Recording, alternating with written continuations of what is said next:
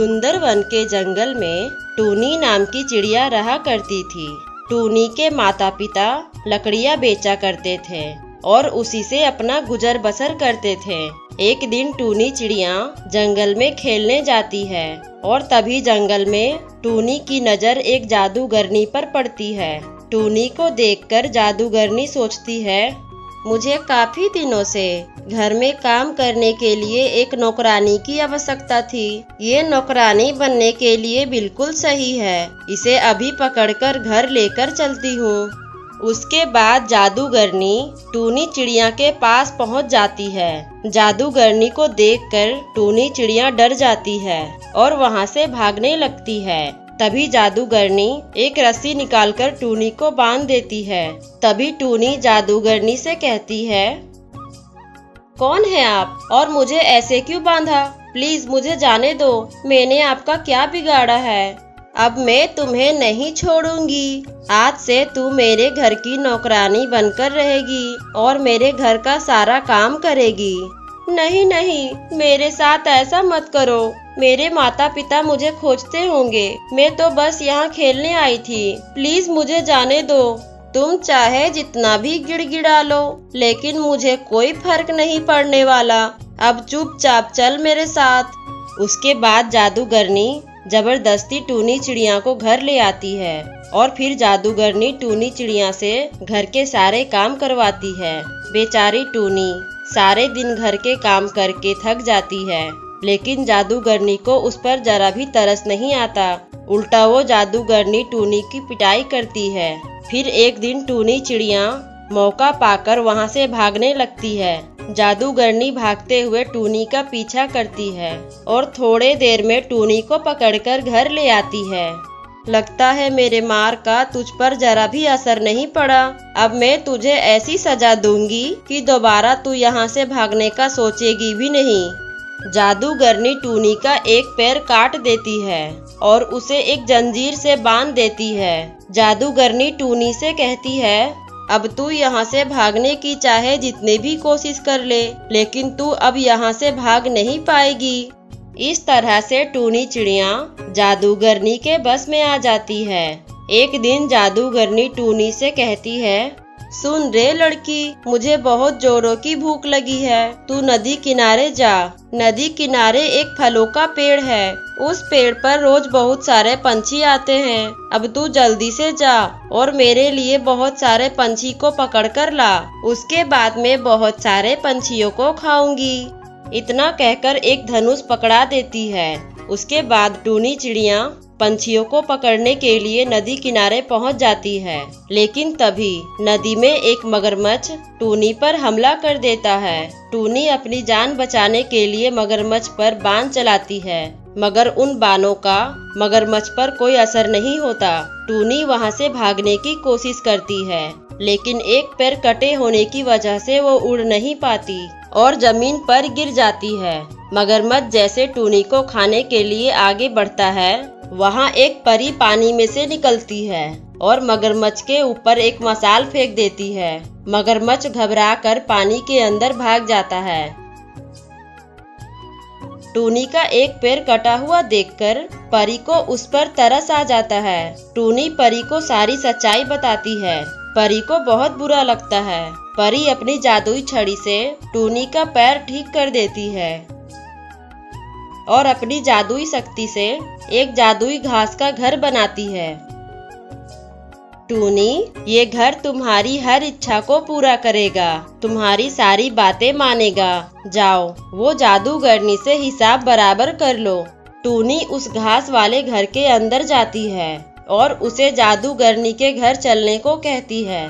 टूनी के कहने पर जादुई घास का घर उड़ते हुए जादूगरनी के पास पहुँच जाता है। फिर टूनी जादुई घास के घर को कहती है, सुनो घास का घर, इस जादूगरनी ने मुझ पर बहुत अत्याचार किया है, आप इसी वक्त इसे सबक सिखाओ।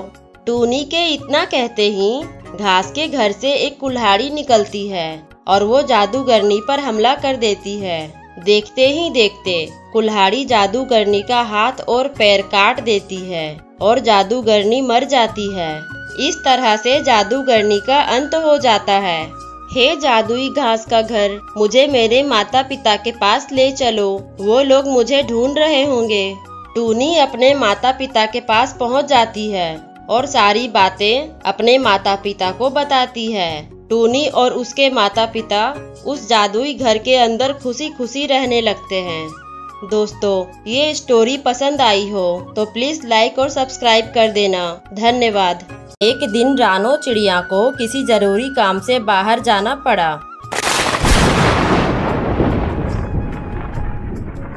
उस रात का मौसम बहुत खराब था।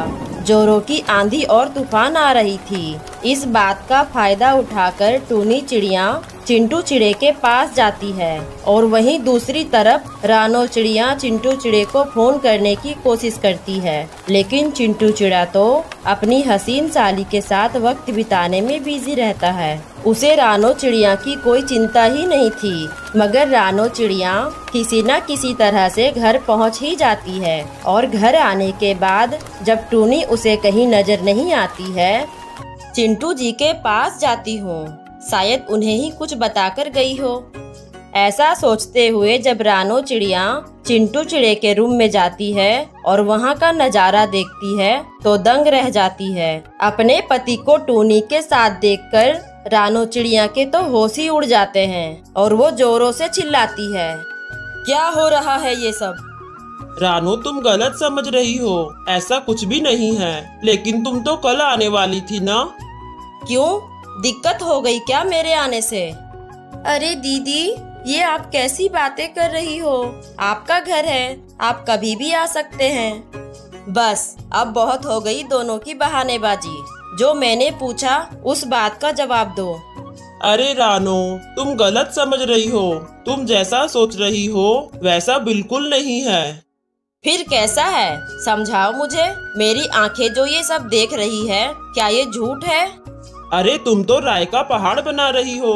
टूनी को बिजली कड़कने की आवाज़ से डर लग रहा था इसीलिए ये यहाँ पर चली आई। बस और कोई बात नहीं है। हाँ दीदी जीजू बिल्कुल ठीक कह रहे हैं और आप थोड़ा भरोसा रखिए जीजू पर। मुझको इन पर तो भरोसा है पर तुम पर नहीं। ठीक है, आप मुझ पर भरोसा मत कीजिए, मैं ही यहाँ से चली जाती हूँ। अच्छा कहाँ जाएगी? माता पिता तो है नहीं, तेरी ज़िम्मेदारी तो मुझ पर है ना तो तू तो यहीं पर रहेगी ना, और कहाँ जाएगी? ये सब होने के बाद रानो चिड़िया के दिमाग में शक का कीड़ा दौड़ने लगता है। वो अपने बहन और पति के हर छोटे बड़े हरकतों पर नज़र रखती है। इस तरह से समय गुजर जाता है और एक दिन रानो चिड़िया सोचती है, मुझे कुछ तो करना होगा, वरना ये दोनों खिचड़ी पकाते रहेंगे और मेरा बसा बसाया घर उजड़ जाएगा। उसी दिन रानो चिड़िया टूनी चिड़िया को किसी ज़रूरी काम से बाहर भेजती है और चिंटू चिड़े को इस बात की खबर नहीं होती। चिंटू चिड़ा टूनी को ढूंढता है। ना मिलने पर उसे आवाज़ मारता है। टूनी ओ टूनी कहाँ हो टूनी? चिंटू की आवाज़ सुनकर रानो चिड़िया आकर कहती है क्या हुआ बताइए मुझे? टूनी को तो कुछ ज़रूरी काम था। वो तो सुबह ही चली गई थी।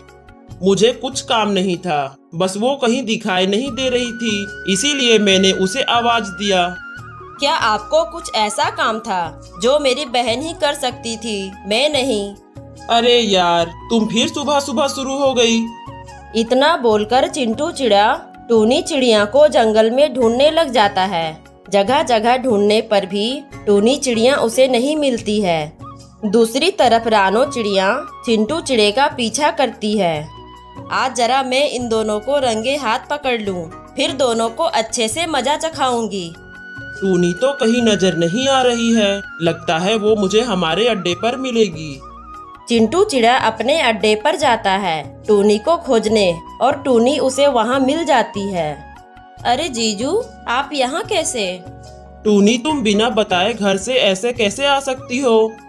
ये सब रानो चिड़िया दूर से देख रही होती है। रानो चिड़िया जैसे ही उन दोनों के पास जाने वाली होती है तभी वहाँ पर लूसी कबूतर आकर टूनी के गले लग जाता है। टूनी लूसी कबूतर से कहती है वैसे तुम बहुत जल्दी आ गए। यार मैं काम में फंसा हुआ था इसीलिए आने में देर हो गई। तभी रानो चिड़िया आकर कहती है ये सब क्या हो रहा है? और ये कबूतर कौन है? टूनी के गले क्यों लग रहा था? दीदी ये लूसी है। हम दोनों एक दूसरे से प्यार करते हैं। मैं लूसी से आज जीजू को मिलवाने वाली थी। जीजू ने ही मेरी मदद करी और आपको गलत फहमी थी कि जीजू और मेरा चक्कर चल रहा है, जबकि ऐसा कुछ था भी नहीं। मैं आपसे डरती थी, इसीलिए हमने आपको इस रिलेशनशिप के बारे में नहीं बताया।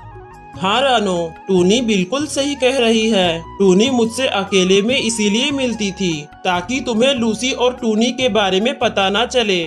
सारी बातें सुनकर रानो को उसकी गलती का एहसास हो जाता है और वो सभी से माफ़ी मांगती है और रानो चिड़िया, टूनी और लूसी की शादी करवा देती है। फिर दोनों अपने अपने पतियों के साथ अपने अपने शादीशुदा ज़िंदगी में खुश रहने लगती है।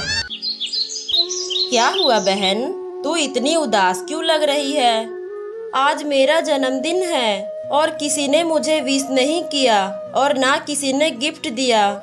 बताओ, क्या चाहिए तुम्हें?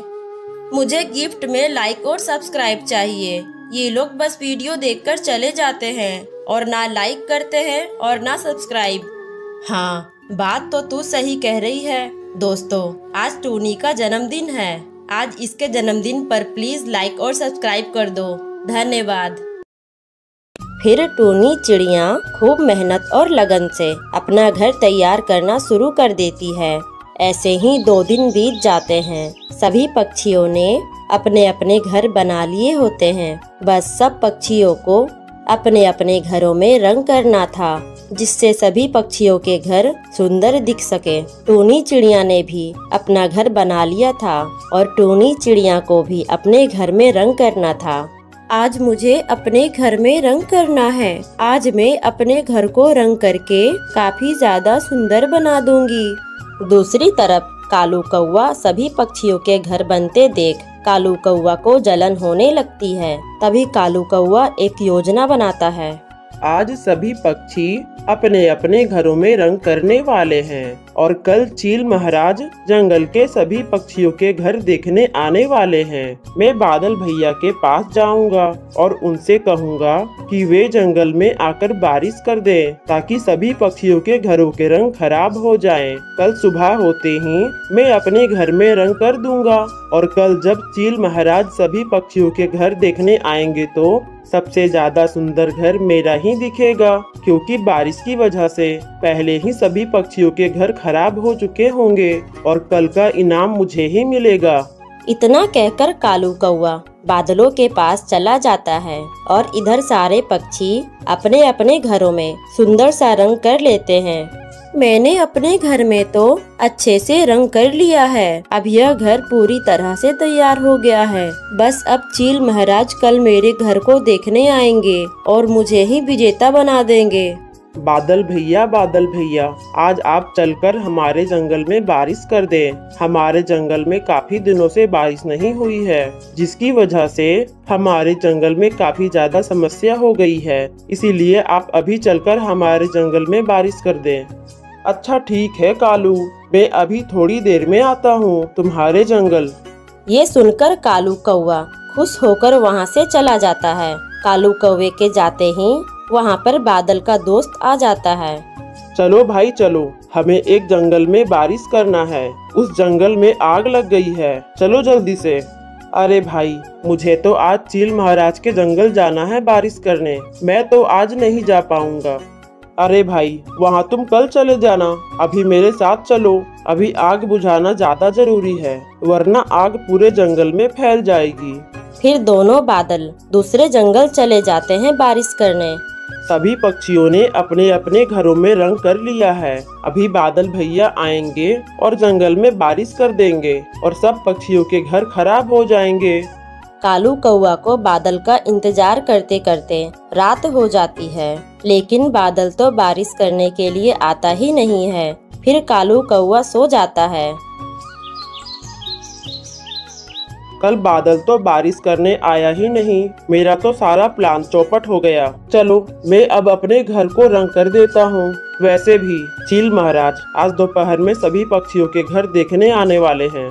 मैं अभी जाकर अपने घर को रंग कर देता हूँ। कुछ देर में कालू कौआ भी अपने घर में रंग कर लेता है और अब कालू कौआ का घर भी सुंदर दिख रहा था। चलो भाई आज मुझे चील महाराज के जंगल जाकर बारिश करनी है। कुछ ही देर के बाद चील महाराज के जंगल में बारिश होना शुरू हो जाती है। बाप रे बाप कल तो बारिश हुई नहीं और आज देखो कितनी तेज बारिश हो रही है। मैंने अपने घर को अभी रंग किया है। मेरा घर तो खराब हो जाएगा। कुछ देर बाद बारिश रुक जाती है और कालू कौआ का घर खराब हो जाता है। चील महाराज तोते के घर के बाहर आते हैं और तोते का घर देखते हैं। तुमने अपने घर को बहुत अच्छे से सजाया है। अब मैं जाकर और भी पक्षियों का घर देखता हूँ। इस तरह से चील महाराज जंगल के एक एक पक्षियों का घर देखते हैं। फिर कालू कौआ के घर के बाहर भी जाते हैं। चील महाराज को कालू कौआ का घर बहुत ही गंदा दिखता है। ये क्या कालू कौआ तुमने अपने घर को रंग नहीं किया? तुम्हारा घर कितना ज़्यादा बुरा दिख रहा है। मुझे तुम्हारा घर बिल्कुल भी पसंद नहीं आया। अब बस टूनी चिड़िया बची है। अब टूनी चिड़िया का घर जाकर देखना है। फिर चील महाराज टूनी चिड़िया के घर के बाहर आते हैं और जब टूनी चिड़िया का घर देखते हैं तो चील महाराज की आँख फटी की फटी रह जाती है, क्योंकि जंगल में सबसे ज़्यादा सुंदर घर टूनी चिड़िया ने बनाया था। वाह टूनी वाह, तुमने अपना घर कितना सुंदर बनाया है। मुझे पूरे जंगल में सबसे ज़्यादा सुंदर घर तुम्हारा ही लगा। इसीलिए इस साल की विजेता तुम हो टूनी चिड़िया। चील महाराज टूनी को गन्ने का खेत दे देते हैं और टूनी चिड़िया काफ़ी ज़्यादा खुश हो जाती है।